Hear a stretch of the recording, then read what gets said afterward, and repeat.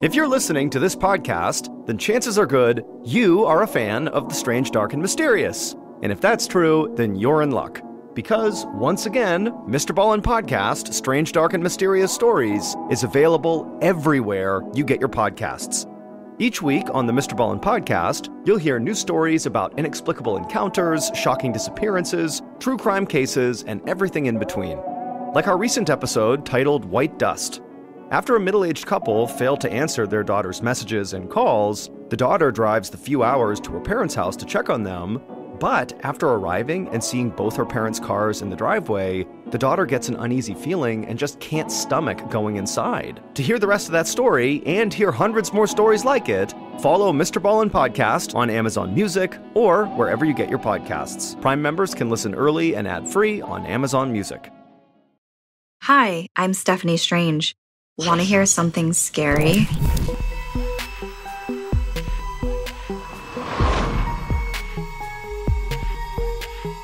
Hey Strangelings! I hope you all had a great start to the new year. We are excited for 2024, and we're starting off right with a compilation, so enjoy.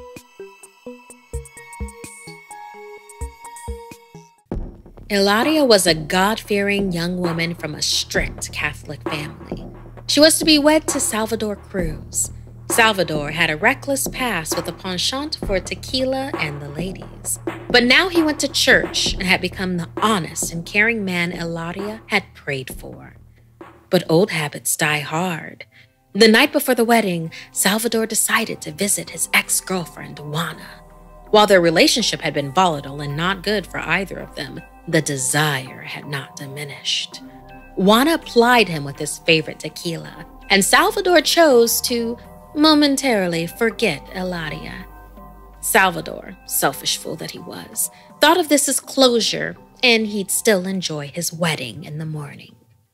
The next day, the bells rang out, but as the church doors opened, Eladia stood at the entrance, her father by her side, but the groom was nowhere to be found. Eladia looked around frantically, asking for Salvador. Then the whispers started, for everyone else knew exactly where he was. Humiliated, embarrassed for being lied to and cheated on, and for not honoring the sanctity of the church, Hilaria wasn't thinking clearly. She ran up the stairs toward the bell tower as fast as she could. At the highest point of the church, she looked up to the heavens and said, Forgive me, Father, for what I'm about to do. She closed her eyes and leapt to the ground, her neck snapping instantly. The wedding attendants stared in disbelief. The coroner came to remove the body, and the priest tried to calm the parishioners. Two hours after the wedding, a taxi sped up to the church. Salvador stumbled out, reeking of booze. He straightened his tie and slicked back his hair, trying to cover his sins. When he saw the coroner loading the body bag into the van, Salvador knew. The crowd turned on him, chasing him out of town, and he wasn't seen again for months. Until one day, Salvador started showing up at church again. Sober and looking to repent, the community forgave him. He even began volunteering at the church, staying to clean up after services. One evening, alone in the church, he saw a woman in white pass by. He turned to ask if she was okay, but she was gone. Just as he was about to lock up, he heard a noise by the stairs. Glancing over, he saw white fabric floating up the stairway. He followed. The white fabric continued up to the roof near the bell, but there was no one there. All he could see was a white wedding veil lying over the edge, about to blow off. He ran up to it, snatching the lacy material. As he turned to head back downstairs, there she stood. The ghost of Hilaria. Her neck snapped to the side. But she had become something else. The betrayal and grief of being left at the altar had created a vengeful spirit La Novia de Tola. Before he could speak, she flew over, lifting him a foot off the ground. Floating in midair, she whispered, Forgive me, Father, for what I'm about to do. She threw him over the ledge. His body fell, just as Hilaria's had, except he didn't die instantly. He lay there, face down, writhing in pain, his legs broken, his arms shattered. Screaming in anguish, he felt Hilaria hovering above him. He begged for her forgiveness.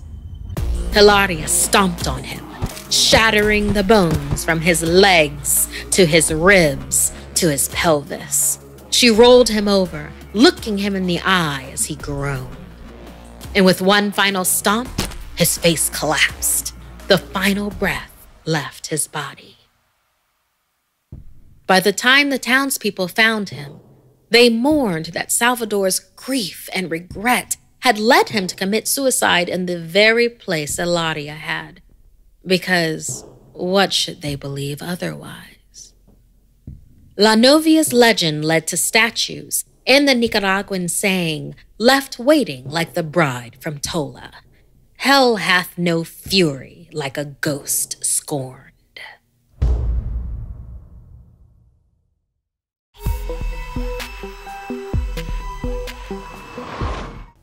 There once was a couple, Daniel and Melinda, who seemed to be over the moon in love. One of the things that brought them together was their competitive nature. They liked to push each other to be the best versions of themselves. Of course, all the competitiveness was friendly and well intentioned. It sometimes meant silly little games of tag here and there, or maybe some nights of hide and seek. They were both sort of adult children. After many years, they became engaged and were off to the races, competing with each other to see who could find the best venue for the best price. But there was one point of tension in their relationship. Daniel was incredibly jealous of Melinda's best friend from childhood, Angelica. He was convinced that this so called friend was in love with his bride to be, and she would try and sabotage the wedding by any means possible. Melinda always had to reassure him that he was overthinking things and that there was nothing to worry about. You have no reason to feel this way. Angelica is my oldest friend. Just tell me this, Daniel asked. Did you ever have feelings for her? Melinda paused. Yes, I have. But it was years ago. Please, you have to understand. Daniel wasn't happy with this answer. You have to uninvite her. Are you crazy? She's in my bridal party. I can't uninvite her. I honestly don't know if I can handle seeing her there. It's our wedding day. It's supposed to be perfect. The couple stared at each other, both silently challenging the other to give in first. Melinda sighed. If that's what will make you happy, I'll talk to her. Months later, the day of the wedding arrived. The engaged couple had forgotten about their past arguments and were just happy that the day had come. Melinda ended up finding the best venue for the best price her parents' large and lavish Victorian mansion. The ceremony was going to be held outside in the gorgeous gardens, and the reception would take place inside. The guests were filing in and finding their seats, while Melinda was hiding from sight near the end of the aisle. Suddenly, Daniel appeared next to her. Danny, you're not supposed to see She's me here. Why is she here? You told me she wasn't going to come. Oh my god, she's sitting in the back. She's not in the bridal party anymore. You literally don't have to see or speak to her. Well, I did see her, and I just can't believe you do this to me. Really? You're gonna do this right now? At this point, the couple's voices were rising, causing the guests to turn and look over at them. Hey, you know what will be fun? Why don't we play a game of hide and seek with all the guests? That always cheers you up. And afterwards, I can talk to Angelica again. Deal? Daniel exhaled. I'm so sorry. I know I'm being ridiculous. I know that. I know she's important to you, and it's not fair of me to act this way. I love you. I love you too. Now let's play, albeit. The guests are all informed of the game of hide and seek before the ceremony, and they willingly participate. Melinda closed her eyes and began counting backwards from 30, and everyone scattered to find a hiding spot. The property was huge, so there was plenty of space. Ready or not, here I come. Melinda grew up in this house and knew every nook and cranny, so she had no problem finding everyone.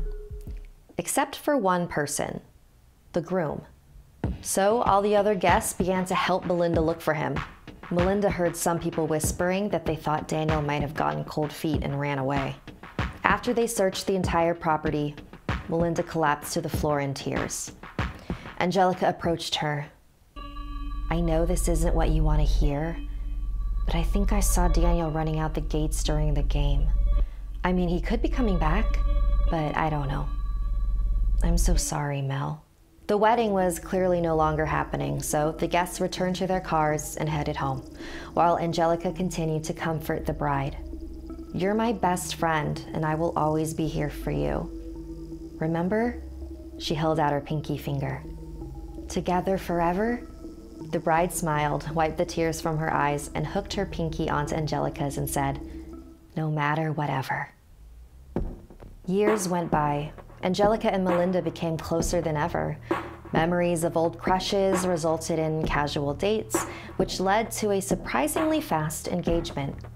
The wedding venue? Melinda's parents' Victorian mansion.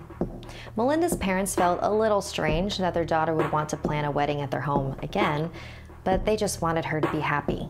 So Angelica, Melinda, and her parents began to clean out the manor. Melinda went upstairs to see if she could find some tablecloths and decor to use for the wedding.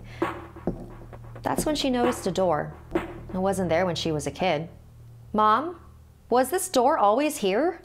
Melinda shouted down the stairs to her mom, who replied, Oh, we added that room a couple years ago for extra storage. Melinda opened it to find a very messy and dusty room filled with boxes and furniture. In the middle of the room was a large antique trunk. There was a lock with the key still inside. Curious, she turned it and hoisted the heavy lid with both hands. Immediately, a putrid stench seeped out through the open crack. As new air flew in, old air came out. She dropped the lid on the side and covered her nose. She peered inside, and her eyes went wide. The rotting corpse of a man, face stretched in anguish, lay battered and broken within the trunk. There were scratch marks highlighted with dried blood on the inside of the lid. The man's skin was leathery and stiff, just like the suit that hung across his gray flesh, the dusty and rumpled suit of Daniel. Melinda heard footsteps behind her. She turned around to find Angelica in the doorway. Angie, you said you saw him leave the property. You. you knew he was in here, didn't you? Angelica continued to stare, face devoid of all emotion. Angie, did you do this? We made a promise, Mel, and I wasn't going to let anyone get in between us. Don't you remember? She held out her pinky together forever, no matter whatever.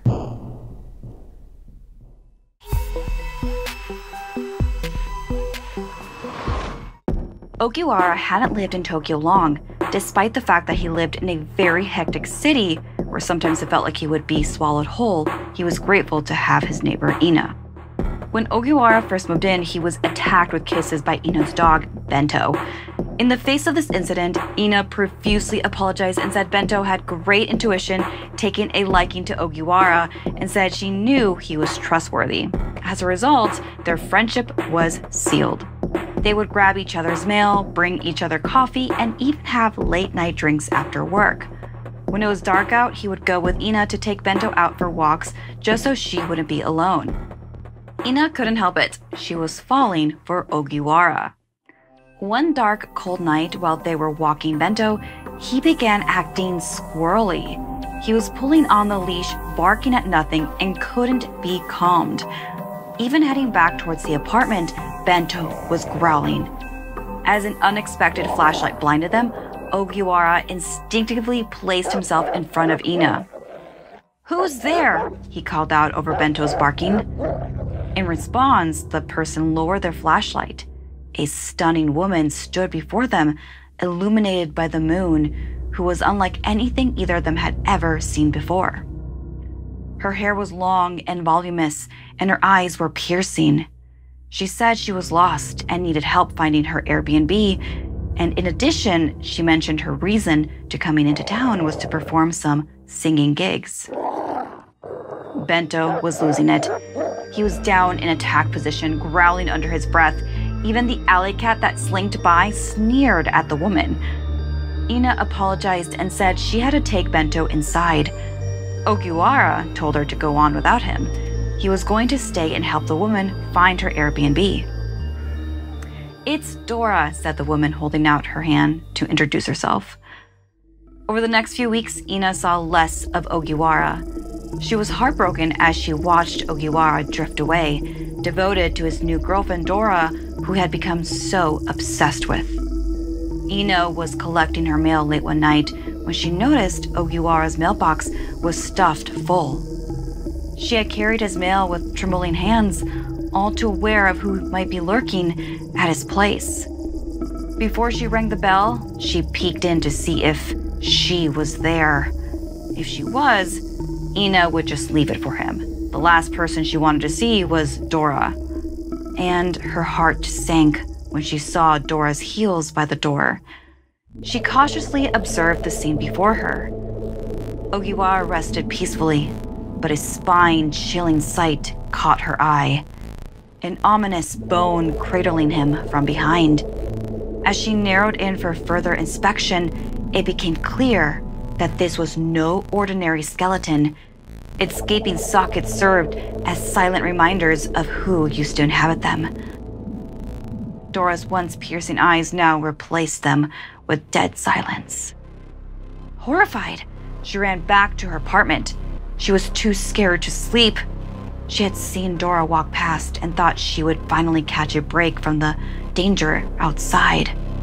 But then came an unexpected loud bang on the door. Bento jumped into high alert, barking at the monster on the other side.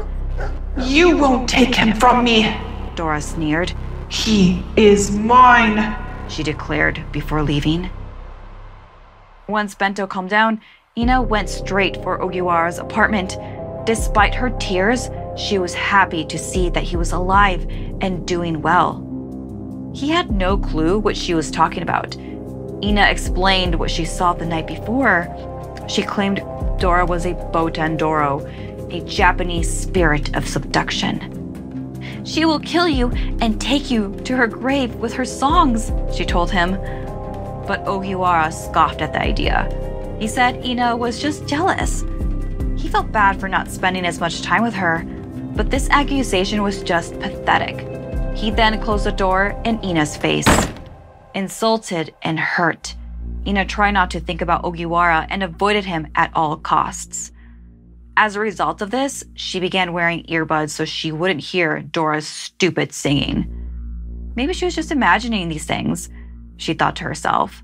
Love can make you do and see crazy things. She went on like that until one night, a chill ran down her spine as Bento's howls pierced through their small apartment. She took out her earbuds, and what she saw outside made her heart stop for a moment. The police swarmed around Ogiwara's place. Did it finally happen? Had she been right about Dora? It turns out that Ogiwara's lifeless body had been discovered in a mysterious cemetery, embraced by the bony clutches of an aged corpse, that of Dora, who had been dead for over 80 years. Thanks so much for listening. Like and share if this video gave you the chills. And don't forget to subscribe and turn on the bell for notifications. See you next time.